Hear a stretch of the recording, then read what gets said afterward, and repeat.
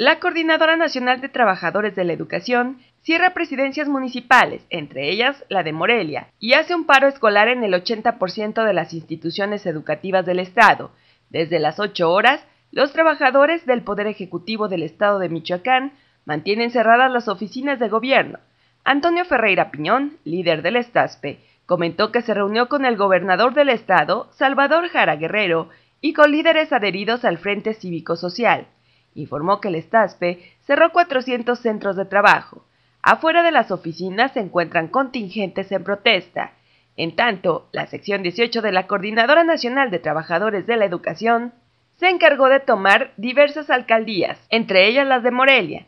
El dirigente Juan José Ortega Madrigal reportó que fueron cerrados los accesos a dependencias federales, además de realizar un paro escolar en el 80% de las instituciones educativas del Estado.